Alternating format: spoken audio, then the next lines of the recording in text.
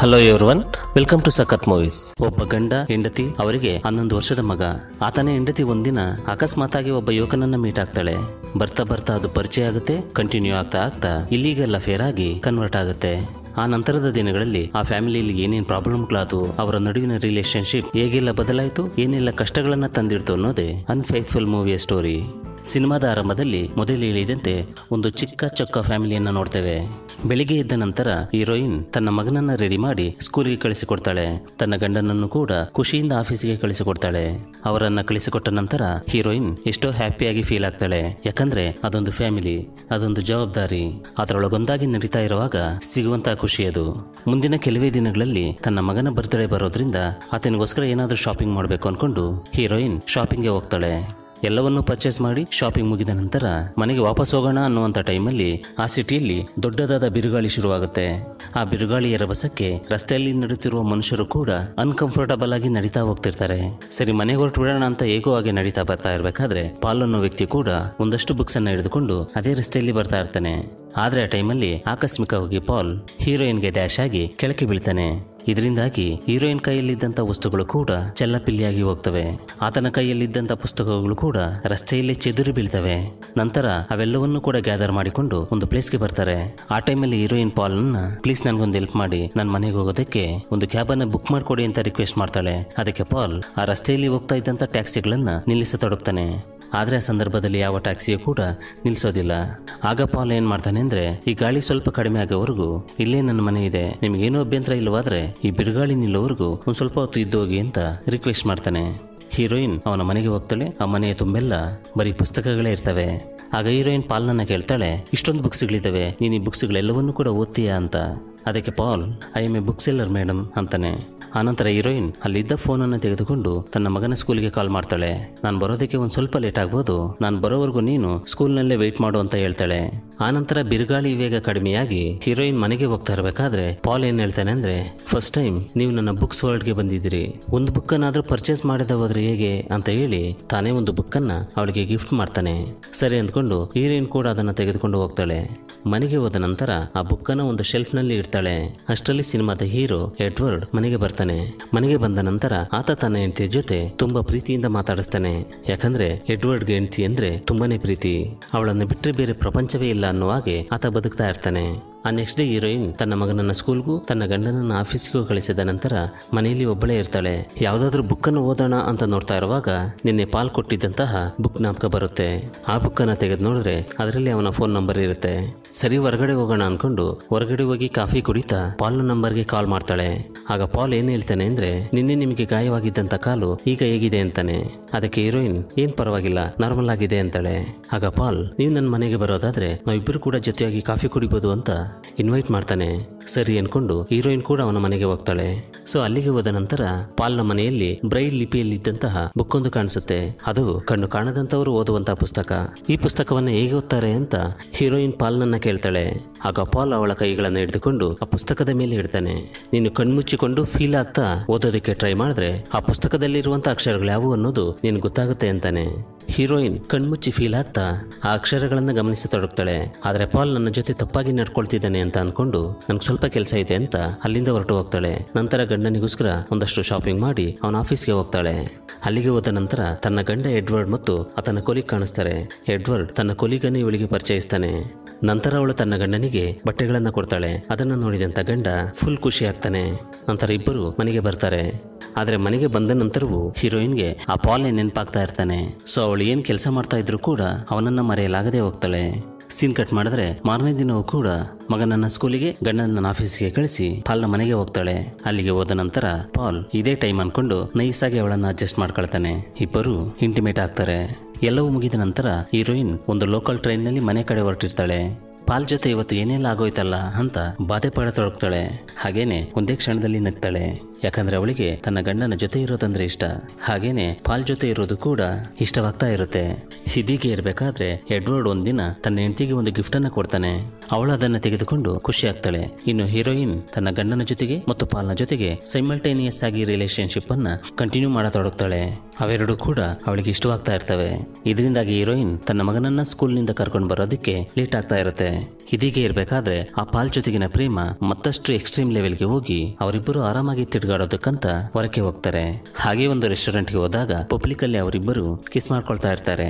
ಆದ್ರೆ ಅದೇ ಸಮಯದಲ್ಲಿ ಆ ರೆಸ್ಟೋರೆಂಟ್ನಲ್ಲಿ ಇದ್ದಂತಹ ಎಡ್ವರ್ಡ್ನ ಕೊಲಿ ಹೀರೋಯಿನ್ ಅನ್ನ ನೋಡ್ತಾನೆ. ಆಕೆ ತನ್ನ ಫ್ರೆಂಡ್ ವೈಫ್ ಅಲ್ವಾ ಅಂತ ಅನ್ಕೊಂಡು ಅವಳನ್ನು ನೋಡಿ ಕನ್ಫರ್ಮ್ ಮಾಡ್ಕೊಂಡು ಅಲ್ಲಿಂದ ಹೊರಟು ಹೋಗ್ತಾನೆ.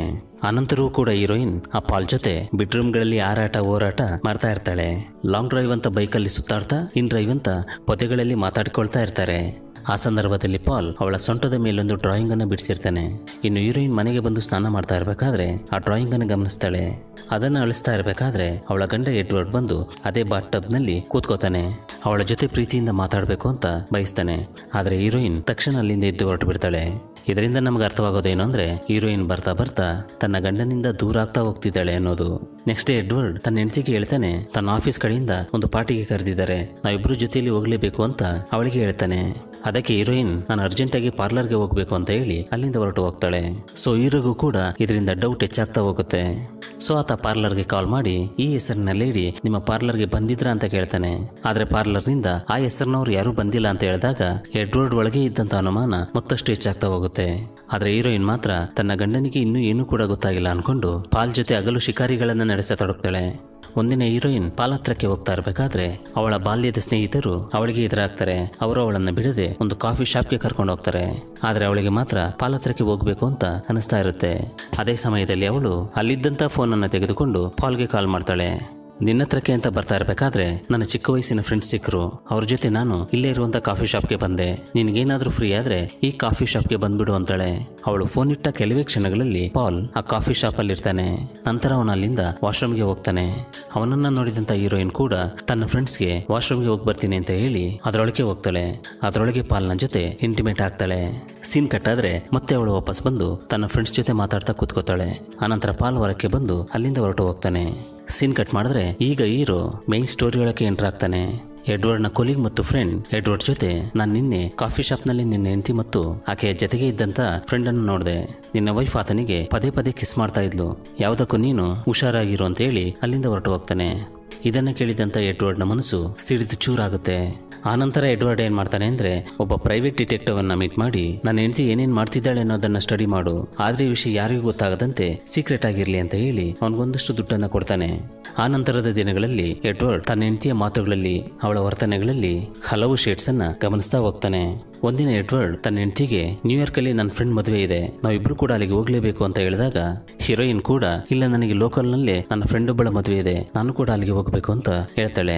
ಎಡ್ವರ್ಡ್ ಆ ವಿಷಯವನ್ನ ಕ್ರಾಸ್ ಚೆಕ್ ಮಾಡ್ತಾನೆ. ಅವನಿಗೆ ಅವಳ ಫ್ರೆಂಡ್ ಮದುವೆ ಇರೋದು ಗೊತ್ತಾಗುತ್ತೆ. ಇದಾದ ನಂತರವೂ ಪಾಲ್ ಮತ್ತು ಹೀರೋಯಿನ್ ನಡುವಿನ ಹಗಲಿನ ಚಿಕಾರಿಗಳು ರೆಸ್ಟೋರೆಂಟ್ಗಳು ಸಿನಿಮಾಗಳು ಕಂಟಿನ್ಯೂ ಆಗ್ತಾನೆ ಹೋಗ್ತವೆ. ಅದೇ ಸಂದರ್ಭದಲ್ಲಿ ಆ ಪ್ರೈವೇಟ್ ಡಿಟೆಕ್ಟಿವ್ ಇವರಿಬ್ಬರ ಫೋಟೋಗಳನ್ನ ಎಲ್ಲೆಂದರಲ್ಲಿ ಅವರಿಗೆ ಗೊತ್ತಾಗದ ಹಾಗೆ ತೆಗಿತಾ ಇರ್ತಾನೆ. ಈ ನಡುವೆ ಹೀರೋಯಿನ್ಗೆ ಒಂದು ಅನುಮಾನ ಶುರುವಾಗುತ್ತೆ. ಅವಳು ತನ್ನನ್ನು ತಾನು ಆತ್ಮವಿಮರ್ಶೆ ಮಾಡಿಕೊಳ್ಳತೊಡಗ್ತಾಳೆ. ನಾನು ಪಾಲ್ ಜೊತೆ ತುಂಬಾ ಟೈಮ್ ಅನ್ನು ಸ್ಪೆಂಡ್ ಮಾಡ್ತಾ ಇರೋದ್ರಿಂದ ತನ್ನ ಗಂಡ ಮತ್ತು ಮಗನ ಜೊತೆ ಖುಷಿಯಾಗಿ ಟೈಮ್ ಸ್ಪೆಂಡ್ ಮಾಡಲಾಗದೆ ಹೋಗ್ತಾ ಇದ್ದೀನಿ ಅಂತ ಅನ್ಸತೊಡಗುತ್ತೆ. ಇನ್ಮೇಲಾದ್ರೂ ನಾನು ಈ ತಪ್ಪುಗಳನ್ನ ಮಾಡಬಾರ್ದು ಅಂತ ಅವಳು ಅಂದ್ಕೊಳ್ಳತೊಡಗ್ತಾಳೆ. ಆನಂತರ ಅವಳು ಡೈರೆಕ್ಟ್ ಆಗಿ ತನ್ನ ಗಂಡನಿಗೆ ಕಾಲ್ ಮಾಡ್ತಾಳೆ. ಆದ್ರೆ ಅವಳ ಗಂಡ ಅವಳ ಫೋನ್ ಅನ್ನು ರಿಸೀವ್ ಮಾಡೋದಿಲ್ಲ. ಯಾಕಂದ್ರೆ ಅವನು ತನ್ನ ಆಫೀಸಿನ ಕೆಲಸಗಳಲ್ಲಿ ಬ್ಯುಸಿಯಾಗಿರ್ತಾನೆ. ಮತ್ತೊಂದು ಕಡೆ ಏನಾಗುತ್ತೆ ಅಂದ್ರೆ ಎಡ್ವರ್ಡ್ ಆಫೀಸಿನಿಂದ ಹೊರಟು ಸೀದಾ ಡಿಟೆಕ್ಟಿವ್ ಹತ್ರಕ್ಕೆ ಹೋಗ್ತಾನೆ. ಆಗ ಡಿಟೆಕ್ಟಿವ್ ಆತನ ಹೆಂಡತಿ ಬೇರೆಯವರ ಜೊತೆ ಇರೋ ಫೋಟೋಗಳನ್ನ ಎಡ್ವರ್ಡ್ಗೆ ತೋರಿಸ್ತಾನೆ. ಆ ಫೋಟೋಸ್ ಅನ್ನ ನೋಡಿದಂತ ಎಡ್ವರ್ಡ್ ತುಂಬಾನೇ ನೊಂದ್ಕೊಳ್ತಾನೆ. ನಂತರ ಎಡ್ವರ್ಡ್ ಡಿಟೆಕ್ಟಿವ್ ಹತ್ರ ಪಾಲ್ನ ಅಡ್ರೆಸ್ ಅನ್ನ ತೆಗೆದುಕೊಂಡು ತನ್ನ ಮನೆಗೆ ವಾಪಸ್ ಬಂದ್ಬಿಡ್ತಾನೆ. ಆನಂತರ ಹೀರೋಯಿನ್ ಪಾಲ್ಗೆ ಕಾಲ್ ಮಾಡಿ, ಇನ್ಮೇಲಿಂದ ನಮ್ಮ ರಿಲೇಶನ್ಶಿಪ್ ಅನ್ನ ಕಂಟಿನ್ಯೂ ಮಾಡೋದು ಬೇಡ. ಇದನ್ನ ಇಲ್ಲಿಗೆ ಸ್ಟಾಪ್ ಮಾಡೋಣ ಅಂತ ಹೇಳ್ಬೇಕು ಅಂತ ಅವನಿಗೆ ಕಾಲ್ ಮಾಡ್ತಾಳೆ. ಆದ್ರೆ ಪಾಲ್ ಕಾಲ್ ರಿಸೀವ್ ಮಾಡೋದಿಲ್ಲ.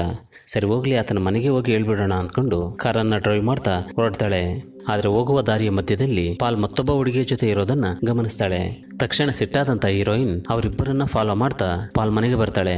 ನಾನು ನಿಂಗೆ ಏನ್ ದ್ರೋಹ ಮಾಡಿದೀನಿ ಅಂತ ನೀನು ಇನ್ನೊಬ್ಬ ಹುಡುಗಿಯ ಜೊತೆ ತಿರುಗ್ತಾ ಇದೀಯಾ ನಿಂತ ಯಾವಾಗ್ಲೂ ಬರೀ ಇದೇ ಕೆಲಸನ? ನನ್ನ ಲೈಫನ್ನೆಲ್ಲ ನೀನು ಹಾಳು ಮಾಡಿಬಿಟ್ಟೆ ಅಂತ ಬೈತಾಳೆ. ಇವನ ಸಹವಾಸ ಮಾಡಿದ್ರೆ ನಿನ್ನ ಲೈಫು ಕೂಡ ಹಾಳಾಗೋಗುತ್ತೆ ಅಂತ ಪಾಲ್ ಜೊತೆಗಿದ್ದಂತ ಹುಡುಗಿಗೆ ಹೇಳಿ ಅವಳನ್ನ ಅಲ್ಲಿಂದ ಕಳಿಸ್ತಾಳೆ. ಆಗ ಪಾಲ್ ಹೇಳ್ತಾನೆ, ನಿನಗೆ ಮದುವೆ ಆದ್ರೂ ಕೂಡ ನನ್ನ ಜೊತೆ ಬಂದಿದ್ಯಾ? ನನ್ನ ಜೊತೆ ಮಲಗ್ತಾ ಇದೆಯಾ ಅಂದ್ರೆ ಕೇವಲ ನೀನ್ ನನ್ನ ಜೊತೆ ಎಂಜಾಯ್ ಮಾಡೋದಕ್ಕಷ್ಟೇ ಬಂದಿರ್ತೀಯ? ಅಷ್ಟೇ ಅಲ್ಲ, ನನಗೆ ಮದುವೆ ಆಗದಿದ್ರು ಕೂಡ ನಾನು ನಿನ್ ಜೊತೆ ಬಂದು ಮಲಗ್ತಾ ಇದ್ದೀನಿ ಅಂದ್ರೆ ಅದು ಕೂಡ ನಿನ್ ಜೊತೆ ಎಂಜಾಯ್ ಮಾಡೋದಕ್ಕಷ್ಟೇ ಅಂತ ಜೋರಾಗಿ ಕಿರ್ತಾ ಮಾತಾಡ್ತಾನೆ. ಆಗ ಹೀರೋಯಿನ್ಗೆ ಕ್ಲಿಯರ್ ಕಟ್ ಆಗಿ ಅರ್ಥವಾಗುತ್ತೆ, ಇದೆಲ್ಲವೂ ಕೂಡ ತನ್ನಿಂದಲೇ ಆಗಿದ್ದು ಅಂತ. ಅಂಡ್ ಇದೆಲ್ಲವೂ ಕೂಡ ನನಗಾಗ್ಲೇಬೇಕಾಗಿತ್ತು ಅನ್ಕೊಂಡು ಹೀರೋಯಿನ್ ಅಳ್ತಾ ಅಲ್ಲಿಂದ ಹೊರಟು ಹೋಗ್ತಾಳೆ. ಇನ್ನು ಹೀರೋಯಿನ್ ಮನೆಗೆ ಹೊರಟು ಹೋದ ಹತ್ತು ಹದಿನೈದು ನಿಮಿಷಕ್ಕೆಲ್ಲ ಹೀರೋಯಿನ್ ಹಸ್ಬೆಂಡ್ ಆದಂತ ಎಡ್ವರ್ಡ್ ಪಾಲ್ನ ಮನೆಗೆ ಬರ್ತಾನೆ. ಅಲ್ಲಿಗೆ ಬಂದ ನಂತರ, ನೀನೊಬ್ಬ ಲೇಡಿ ಜೊತೆ ರಿಲೇಶನ್ಶಿಪ್ ನಡೆಸ್ತಾ ಇದೆಯಲ್ವಾ? ಆಕೆ ಗಂಡ ನಾನು ಅಂತಾನೆ. ಇದರಿಂದಾಗಿ ತಕ್ಷಣ ಭಯಗೊಂಡಂತ ಪಾಲ್ ಪಕ್ಕದಲ್ಲಿ ಇದ್ದಂತ ಕತ್ತಿನ ತೆಗೆದುಕೊಂಡು ಅಟ್ಯಾಕ್ ಮಾಡಬೇಕು ಅಂದ್ಕೊಳ್ತಾನೆ. ಆದ್ರೆ ಎಡ್ವರ್ಡ್ ನಿಧಾನವಾಗಿ ಮಾತಾಡತೊಡಗಿದ್ದರಿಂದ ಸರಿ ಅನ್ಕೊಂಡು ಆತನ ಜೊತೆ ಕೂಲ್ ಆಗಿ ಮಾತಾಡತೊಡಗ್ತಾನೆ.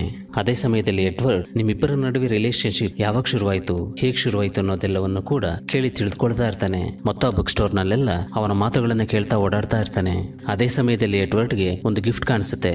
ಆ ಗಿಫ್ಟ್ ಅನ್ನು ಎಡ್ವರ್ಡ್ ತನ್ನ ಹೆಂಡತಿಗೆ ಪ್ರೀತಿಯಿಂದ ಈ ಹಿಂದೆ ಕೊಟ್ಟಿರ್ತಾನೆ. ಅದನ್ನ ಹೀರೋಯಿನ್ ತಂದು ಪಾಲ್ಗೆ ಗಿಫ್ಟ್ ಮಾಡಿರ್ತಾಳೆ. ಆ ಸಾಲಿಡ್ ಆದಂತ ಗಿಫ್ಟ್ ಅನ್ನ ಹಿಡಿದುಕೊಂಡು ಎಡ್ವರ್ಡ್ ತುಂಬಾ ನೊಂದ್ಕೊಳ್ತಾನೆ.